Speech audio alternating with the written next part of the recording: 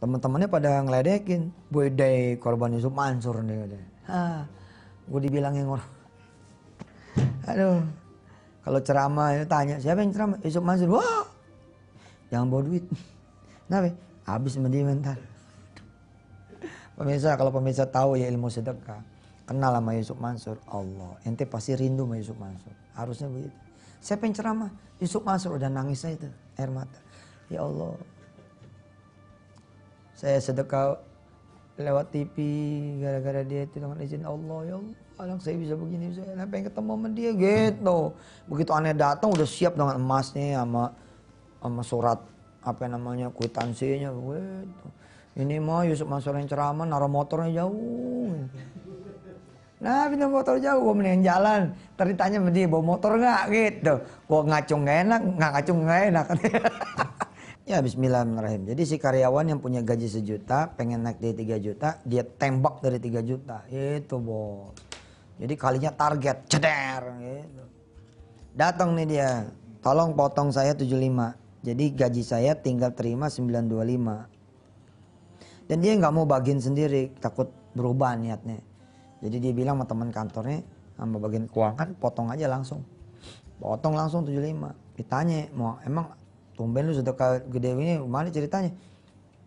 Gue pengen naik gaji gue 3 juta. Dah, mau ini lo, yang senior aja nggak segitu katanya. Udah pokoknya begitu dah. Kata Ustadz pasti naik. Mana dah. Gitu. Nah, bulan depan nih, bulan depannya gajian. Si keuangan nanya lagi, potong lagi gak nih? Sementara gajinya nggak berubah tuh, tetap sejuta. Mikir nih dia. Belum hasilnya gitu. Ditanya lagi, mana mau dipotong lagi nggak nih? Iya, iya, potong, potong, potong. Potong bulan kedua. 75 lagi, ceter. Pulang bawa 925 lagi. Bulan ketiga nggak berubah juga. Mulai ini dia ragu-ragu nih. Tapi karena udah tiga bulan udah dipotong melulu, si kasir nggak nanya lagi sama dia. Main potong aja disangkanya udah emang rutin begitu kali. 95, 925, 925, 925. Akhirnya dia pasrah dia tuh. Pasar-pasar-pasar jatuh sampai bulan ke berapa gitu ya? 8 sampai bulan ke 10 gitu. Subhanallah. Ada keajaiban bos. Diputusin sama pacarnya. Ini kalau kita jadi dia nih nyesek banget ya. Udah nggak pernah dibalas, sama pacar putus lagi. Mana sih Allah nih gitu kan ya? Tapi di situlah rahasia Allah. Bulan ke-11 dia dijodohin sama temennya. Nggak pakai proses panjang kali lebar, nikah bulan ke-11. Sementara potongan jalan terus nih, Julima, Julima, Julima. Eh baru nikah dua mingguan, tuh mertuanya, Allah jual tanah. Jual tanah apa segala macem, berangkatlah ke Mekah. Umroh dah tuh. Lah satu orang itu kira-kira eh, 12 jutaan apa zaman itu? 12 juta apa 11 juta gitu ditambah tetap mengengkel 12 juta lah. Lah dia berdua sama istrinya itu 24 jutaan. Ditambah dengan uang saku segala macam ya, nyampe 30 jutaan. Terus kalau dihitung-hitung lagi selama pesta apa segala macam, dalam keadaan miskinnya tuh mertua zaman dulu, tuh mertua nambahin 10 juta. 40 jutaan. Akhirnya dia testimoni, bener loh. Allah nggak ngezalimin loh. Kan kalau kita bayar tunai, kan kalau dibayar tunai ini sama Allah, sedekah dibayar tunai. Kan targetnya berapa? 3 juta.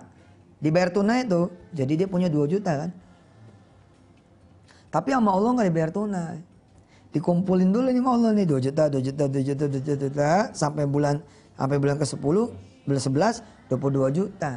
Bulan ke-12 24 juta. Bentuknya apa? Bentuknya umroh, dapat istri yang soleha, dapat keluarga yang begitu dapat rezeki ingatnya Mekah. Susah loh. Subhanallah, makanya Allah nggak bohong.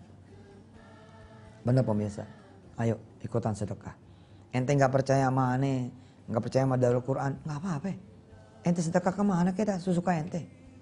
Cuma jangan sampai nggak percaya. Kualat lu sama guru, masa sama guru nggak percaya. Ustad, iya iya iya terserah ada hak ente dah. Ente percaya sama niat baik kami. Percaya sama visi misi kami. Yuk kita bangun yuk 100 pesantren di 100 kota. Malah gimana yang percaya sama Ustad? Pesantren dibikin akhirnya bayar juga. Loh emang harus bayar. Kalau nggak bayar nggak ada usahanya. Usaha dulu dong. Tapi kan ini anak orang miskin. Saya kalau datang orang miskin nih, maaf nih, datang, Ustaz, Allah nih anak aneh keluarga miskin. Anak aneh nih bangsa dua tahun lagi bakal selesai dari SD-nya. Bisa nggak dapat beasiswa? Aneh mah ya daripada ngejanjin beasiswa buat dia, mendingan aneh kasih amalan buat kaya buat dia. Bu ada waktu dua tahun loh bu. Anak ibu kelas sekarang kelas 4.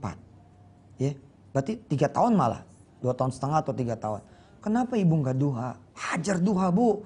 Tiap hari pak hajar duha 12, 12, 12, 12 rakaat. Jangan-jangan begitu ibu datang nanti anak SMP, ibu bilang begini, oh Ustadz, ada nggak 10 anak yang lain yang nggak bisa bayar? Saya yang bayar deh. Allah. Aneh tuh gitu orangnya. Daripada kita ngejanjin beasiswa, mendingan kita kasih tahu amalan supaya kaya gitu loh. Datang nih dia, Assalamualaikum Ustaz, aneh bisa nggak dapat beasiswa? Aneh tanya, kemarin naik apaan? Motor Ustaz. Udah lunas tuh motornya. Hei, Jangan cengar itu mesem tuh. Udah Ustaz. Yaudah motor tinggal. Ya Allah Ustaz. Datang kemari mau minta beasiswa malah dapat sedekah motor. Lemes-lemes jatuh orang. Tapi dengan cara itu bos. Dengan cara itu orang wut. Jadi orang miskin jangan jangan jangan rindu sama zakat. Jangan rindu sama sedekah. Saya di sini Ustaz percuma Ustaz buat teman orang kaya.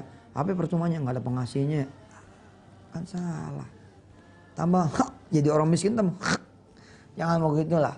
Ente punya yang maha ibu punya maha rahman, punya Allah yang maha kaya. Udah merapat ke dia ya. Makasih. Mudah-mudahan bisa terwujud nih impian kita 100 santai 100 kota sementara rezeki ibu bapak pun bertambah banyak dengan bersedekah. Assalamualaikum warahmatullahi wabarakatuh.